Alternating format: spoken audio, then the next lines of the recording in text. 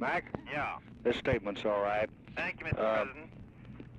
Now, let me ask you this. Uh, uh, is Tshombe not aboard on this thing? No, Tshombe's aboard, but what he's given is authorization rather than a request, uh, which was the best that could be done in the uh, haggling with him in the last two or three days.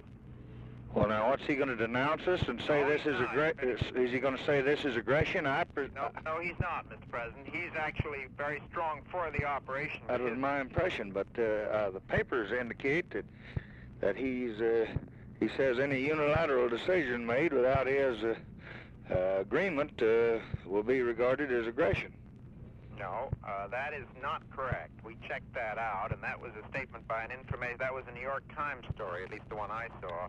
And we checked it out, and it was an information officer going off half-cocked at a time before we'd been able to get into Tshombe. He does have a political uh, problem in that he doesn't want to be the fellow who couldn't do it himself.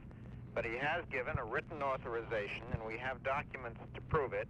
And those documents are available both to us and to the United Nations. And there isn't any problem in terms of the uh, legal authorization of the Belgians and ourselves to operate under the Geneva Conventions and our own obligations toward our own nationals.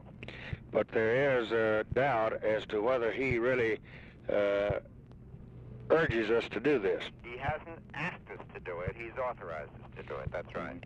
Now, why do we think that uh, I'm just getting prepared? Uh, I, want to get as uh, good a background on why do we think this is essential? We Uh, we, we see no hope of uh, being able to negotiate it out. There's no hope of negotiating it out. Uh, what about the United Nations? Uh, well, we've been in and out of every forum but